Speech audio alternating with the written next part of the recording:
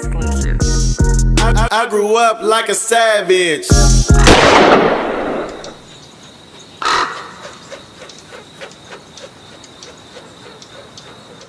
And and so like producing, you you um you produce heap of heap of your ass, Celly Cel. Yeah, yeah, that. When we Cambossy produced that. We produced Belling, Belling Through My Hood, Play Cell. Um, uh, Belling Through My Hood, and I think it's one more, another one we did. I think we did like three on that Play Cell album. And Mm. in the process, did this open up the doors for all the other artists? Cause you made some of my uh favorite C-Bo joints too. Yeah. So, so the time we was going through it with 40 and uh, me trying to get paid, that's when I produced C-Bo. So, You know, I, I don't know why the fuck I knew that. I just knew that it was something because there was like a gap. I think where I didn't hear no music with you and him. But all of a sudden there was all this Mike Mosley C-Bo music. Yeah, yeah. That was because uh, uh, uh, 40's him cousin T. He had um he had saw that you know me and 40 and them was kind of like you know we was having a little issues or whatever with our with our business getting our business together. So we had kind of fell out. So he had seen it, saw he knew how dope you know how how how dope I was and how dope I had. But I had Sam with me too, you know. So he was like, "Oh no, I'm finna, I want to do something with them. It was a, some small chumps and produce, you know, start producing C-Bo. You know, So at the time you fell out with 40 and you didn't do no music with him for a the only money you had got was that 25,000? So so the twenty five thousand. So what happened was was was the fallout was really only like a couple months. you know what I mean? It wasn't. Was like, you know what I mean? So the twenty five thousand came. Oh, I was doing seven I was doing C-Bo, I was doing low. You know what I mean? We was doing we was doing all of these different. We was doing 98, 94 mobs with uh, Jay John and them, Sin. You know, we was doing all of that stuff like simultaneously. So we was like on some. We was on some. uh You know, the producers now like DJ Mustard and all them doing. That's what we was doing in the nineties, eighties, nineties. We just was flooding the market, not knowing that we were creating more traction for ourselves by flooding the market. But what we did know is we wasn't really tripping off of getting too paid too much money up front off of the tracks as much as we were about the people that were spending the money doing the music. They were actually technically promoting us to get us to that next bigger check. So that's how we look at it. We we didn't look at it like, you know what I mean? We need five thousand a track. We didn't look at it like that. That back then, we were just looking at more promotions to get us to that bigger payday.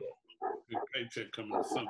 If you if, if you a Yeah. top head and you fuck with this music shit, if you listen to Gas Chamber, it sound like 40 is gonna come on rapping. Like when I first heard it, it sound like some 40 shit. Like honestly. Yeah. Why is Yeah, that? that's, that's, it's because um because I was producing for 42. Yeah. But you know, it's just because we were, we weren't we weren't doing okay, C-Bo, we're gonna give you a sound. No, we wasn't we wasn't thinking like this. This is your sound 40 or this is your sound. We were just doing the same music or had been doing prior to doing 40 stuff, you know. And we were still doing it. I still was at the studio with 40 now. Like Studio Tone mixed that album. And so I'm constantly, me and Studio Tone had a studio together. So 40 and Beat the Video, we all would come to one studio in Vallejo. Uh, I would have, I had a little back small room. Studio Tone had a room on the side, but it was all just one building. So I'm constantly hearing Studio Tone making music. You know what I mean? I'm constantly asking Studio Tone what to do, how to do it. You know what I mean? So I'm being influenced by Studio Tone's sound. You know what I mean as well. So that's that's probably why. You know what I mean? You hear some of my elements, Studio Tone. Some of our elements kind of got the same similarity because Studio Tone kind of like, you know what I mean, put a little bit at it that in me. You know, consciously and I always considered, and I know he wasn't with y'all, um, just directly with y'all, but when you think of my music, I think about Mike Mosley, Sam Bostic, um, Studio Tone, Tone Capone, um, Ant Banks, um, and I'm I'm missing somebody else that I was just thinking about. But it was it was uh, even I even thought to be honest with you, I thought Mike Dean was in the studio with y'all all the time. It was just it seemed like they like y'all all was cooking up at the same time, and it was just it, it, it was like a common sound. I felt like those was all your peers in producing. Am I a little bit on point with that?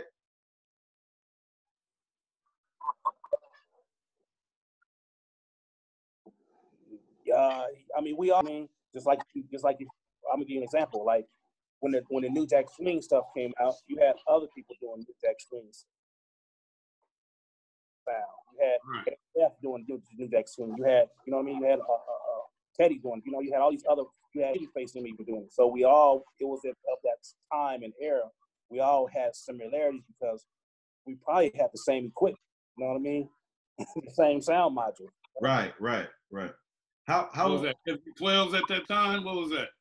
I, I- uh, I was I had SP-12, but I was on MPC. I was on MPC, yeah, MPC had you fucking slapping. and God damn. That was MPC on the Bumble with 40? I'm. Yeah, Hey, MPC. bro, The I don't give a fuck. In this lifetime, somebody has to do the bumble over. Like they They got ain't gonna be able to. man. Yeah. listen, that shit right there is it's like a one of a kind song, man. That shit is I did. That shit is sick, man. How y'all even come with that concept for that? 40 come with mm, and the- Let me tell you what that is. Bumble nothing but, but uh, uh, one of Ant Banks' songs, 187 Proof, flipped. That's what I thought. That song. Yeah. Yeah, that's what that is. We just redid that. But you took some I mean- drums out. We we did it our way. Did you take some drums out? It wasn't verbatim. Nah, it was it wasn't verbatim. It just was the just the just The, the pi- the piano and the da, da, da, But you said y'all flipped it. yeah. That's That's that's crazy. that's, fucking nuts, man. Now that's some fucking genius shit way that's some fucking history for your ass right there. Yeah. Hey, I gotta ask you this too. Uh, how far was it into your relationship with 40? Of course, y'all had the little misunderstanding and you was producing for other people. How far into that did you produce for the people coming out of the crest side? Like the Mac Malls and uh Mac Dre. Yeah. Um. So, like I was saying, I I, I lived everywhere in the days, especially right. So I actually lived in the Crest at one point. Okay. Um, right there where it was at. So, and I had a, and I was having money, so they was Mac Dre would actually see me moving around in the Benz. You know what I mean? Um, so I, you know, I'm and I'm and I'm a politician, so I'm I'm cool with everybody. I'm not on. I ain't on no beef hype. I wasn't on none of that. I was just me moving around, taking a hand, meet and greet with everybody. Um, so I think after we did the 40 stuff, you know, Mac Mall was coming off into his second album. And so that's how, you know, I got to doing the Untouchable album with Mac Mall. Mm-hmm. Um, it's just progression of, you know, you being the hottest producer in the town and, you know what I mean, uh, one of the hottest production companies going. So everybody want to get that them to where they need to get to, you know. So that's what it was. Of course, they Did that that's all right. did that have an effect on you in our relationship? Nah, not not at all. Yeah, that's what I was gonna ask you. Like, did 40 care? He didn't care about it or nothing. Nah, cause it, it wasn't it, it really wasn't even that deep. The, the beat wasn't really as deep as it as seemed. You know what I mean? But nobody they wasn't tripping like that at all. Cause forty then was getting money over there. You know what I mean? They was getting money, in the too, but forty then wasn't. They wasn't tripping like that. You know what I mean? At all. But you, but you said you It was the media. Yeah, it was just a street talk. It was just more, you know, one or two dudes might on the outside of the of the of the crew might have got into it with somebody, and so now it's a beef. You know what I mean? It's us, us y'all type thing, or we thinking we better than y'all. Y'all ain't better than us, you know. So it became a musical com- competition too at some point. You know what I mean? We were really we were transitioning from out of being out of the streets into the music more so. You know what I mean? So so we all started getting smart enough. You know what I mean? Thankfully, we didn't let it get to the point of you know what I mean, killing people like that. You know, Right, right. Right. Show that. you know in the '90s we all had kept guns.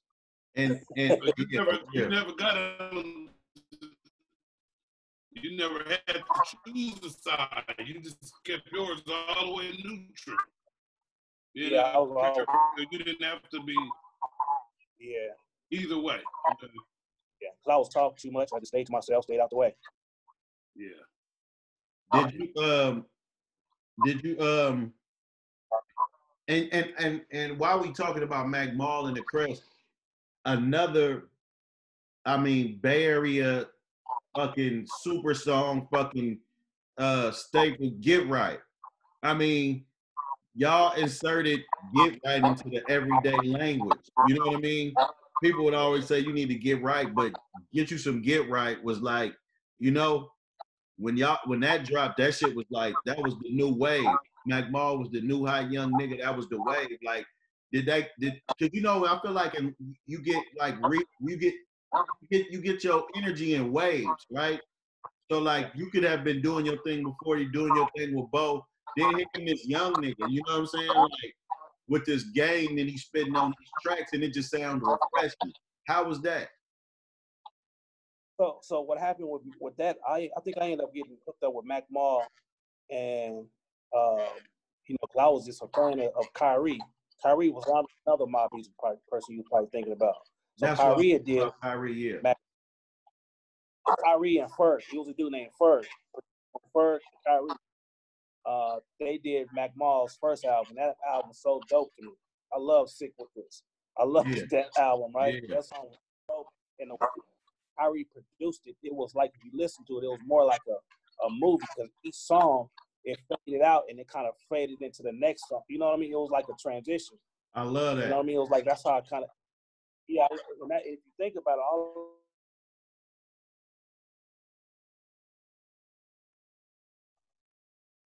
uh, you there? Yeah, we there. Uh, Dr. Dre album did that. So, you know what I mean? The, the Chronic does that. And I always bring up YG, My Crazy Life. I think as of recent was like the most close to that. How you fade out into a skit, you come right back into a song. Yeah, and, and if you check it out, I did that same thing with TQ album. I did the same top five and feel with, with the TQ album. You know what I mean? All right. I'm I'm I'm gonna I'm gonna wait on TQ before we even get to that because I didn't even realize he was your fucking artist. I'm gonna be honest with you. I just When I was hearing TQ, I was thinking of Bay Area TQ. I didn't even think of the LA TQ. Right. When you was so when you was working with Mac Who- Mall, who was right? Bay Area TQ.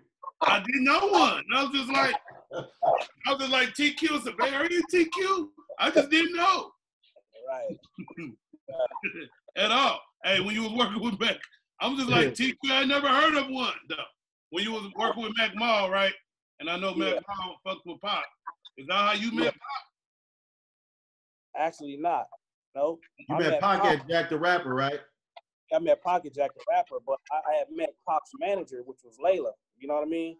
So I met Leila, and so Leila, Is that Leila Steinberg? Leila Steinberg, yeah, he was Maul's uh, uh, manager at the time. So it just came all came full circle. You know what I mean? So I ended up meeting Pocket at Jack the Rapper because of all of the stuff that we was producing. Because we were producing that Sally Sales and that Seacoast, Pac was a fan. He loved that stuff. He loved music. You know what I mean? Loved all of that stuff that I was doing. You know, out there with um, just with everybody. You know, so I met him and Jack the Rapper. You know, a friend of mine introduced me to him. And uh, and 40 of them was out there with us too. So I actually met just on a fluke. We met up at the escalator. we just both started talking. You know, he's like, "Man, I want to work with you." I'm like, "I want to work with you." I said, "I said I want to work with I know I'm gonna get a plaque doing something with you." Hell yeah. Like, man, you know, Hell yeah. yeah. Um, and all of Now, it's a, it's it's a it's a uh Is this urban myth? Did you meet Tupac and Left Eye at the same time? The same. I met them not at the same time. I met them uh, in event. At the same event. Yeah, I met them at the same. event. So earlier in the day, I met Pop. A couple hours later, I met Left Eye. The crazy thing about that is I got some footage of Left Eye when I met her. And I had her do a shot. I got. I don't know where to. I had some. of it. Wow, that's amazing, right? That. So what what was it like? What was it like when you started? And I met Who? Oh, let me let me tell you let me tell you this, right? Let me tell you who all I met at that that that, that Jack the Rapper. I Yeah. met Puffy. Huh? Run that down to us. You said you re- met All right. Gang Starr and who? I met Puffy at a at a party, and Puffy handed me some flyers. Puffy was out there passing out flyers. I met Puffy there. I met uh Busta Rhymes there. Um, because Busta Rhymes was Busta Rhymes was the only person. Like we was at the concert, and I think that I think Forty them was performing at at the at uh Jack the Rapper or something, and Busta Rhymes was going so hard. You know, back then East Coast they wasn't checking for us at all. They thought everybody on the West Coast had Jerry Course. So they was like, they hated on us. They like really didn't, they wasn't fooling with us at all. But Busta Rhymes, he always rocked with us. Busta Rhymes was going. He was a, he was he was at the concert. He he loved E40's music back then. You know what I mean? So I met him, and then I met yeah, and I met uh, yeah. So I met Puffy. He gave me some flyers to come to a little day party. That's when he first saw Puppy me. was passing out the flyers himself. He was passing about himself. Puffy was a promoter. What puffy was this? Oh. Yeah, what what puffy was this? Was this? What? He had already done some music by then, right? did he have did he have Craig Mack in? Yeah, this was this was Craig Mack. That's who was performing. He had Craig Mack. He had Total, and he had and he had, Biggie was like on the slate. I don't think Biggie had, had- was at that was going to perform at that, but I know Total and uh, I want to say 112, and I want to say Craig Mack for sure performed at that thing. But Puffy was having a party, so he passed passing out flyers. He handed me a flyer. Damn. It's weird how it's history the- for your ass. He handed you a flyer at that time. That's crazy. He was putting in his Oh. own work. Let me- That's yeah, let me tell you who else. This dude named Kevin Black. So, so Kevin Black, come to find out, he is he was the person for Death Row. So I didn't meet Snoop then, but I met Kevin Black, which was the head of marketing promotions there. And so back then, you know, I wasn't having money like that. So them passes used to be a lot of money. I'm like, man, I'm not spending no hundred dollars, two hundred dollars for no pass. So I would take, I would get one pass, and I would make me some passes, and I would just get the lanyard and make them right. And so I'm, I'm we doing the pass back with the passes, right? So Kevin Black, the head of marketing promotions for Death Row, he ended. I ended up meeting with him. Um, he gave me a, a, a pass, and I ended up making making one. So that allowed us to get into some parties and some functions or whatever. But that was the time. At that time, Snoop and Luke and them was having a beef, and so you will see Snoop and walk through deep.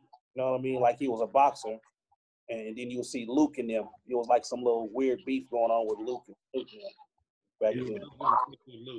I remember that. That That might have been around, that might have been around Dre Day time. Yeah. Yeah. Um, um, Dan, we need more Jack the Rappers and Hip Hop on the Green and the Gavins. We need more of them again because all that back, I man. think Shit, I, all that. we need more face to face, man. We need less of this internet shit. The internet allow us to get away with being weird human beings, man. You know what I'm saying? Like you couldn't have all that weird energy showing up with all them grown men like that. Nah. You was gonna stick out like a sore thumb. You know? How did that fall off? Jack the Rapper and stuff. How did that start falling off by the wayside? I think, it was- I don't- I think it's just because because uh it's become it it became some point Oh, yeah. the regular It turned into some other shit. start getting turned into not what it was. You know, it don't it don't become Exactly. uh, music industry people it becomes a bunch It's of little side and stuff. Fashion show. Yeah, yeah, yeah, yeah. People come side show. Yeah. But the closest thing we had is Revolt. You know what I mean? Revolt just trying was trying to do it now. Trying to bring Revolt that- conferences. Yeah, respect. Shout out, shout out, shout out, Puff. So you also um now now what was your first session like with Pop? Was that the was that the heavy in the game session? Not uh, heavy in the game. Me and Sam had actually produced heavy in the game before before I even got to him. Before I got to Pop, we so basically when I met him at Jack the Rapper, he was like, "Oh, I got, you know, I'm working on Me Against the World album." He didn't he didn't know the name of the album, but he was like, "I'm working on my album. I got, you know, uh, I'm got a couple songs I need to do. You know, come to LA and let's go. You know, so we exchanged numbers, and I got it back and I called him. And he was like, okay, can you come down? I'm gonna be in the Bay Area. And he beat the Spice One over in uh, Newark. So I went over there and gave him. So me and Sam knew he was coming to town. So me and Sam sat there and we made Heavy in the Game in Fairfield at the studio, you know, in the studio. So I had already had a tape of it. I took him Heavy in the Game and dropped it off to him. And then he flew back to Burbank. Then the next day he called me, told me to come down. He wanted to record Heavy in the Game. And that's when I met Richie Rich. Mm. Um, I met Richie Rich from Pop. Now it's Yeah, funny like- because it's crazy because how many beats did you take? Well, he heard heavy in the game, wanted it on the spot. But did you take more beats? Because you know now a producer come with hundred beats. You know what I'm saying? It's like y'all cooked up heavy in the game. Like y'all so confident. Like y'all know he gonna pick this motherfucker. Yeah, we but we we never was the we never was the um the cook up a hundred beat type producers. We we wasn't that. We was we was you know come from the ground up like Forty would tell us, man, come from the ground up. So we doing it on the spot because I think that it's a different vibe and it's a different feel a lot of times when you have the the artist right there with you. You know what I mean? It's a different put into the music versus blindly making some random stuff and then just hoping that you know, hoping that they can Yeah. level. You know, that came later on down the line, hooking up a bunch of, you know, just random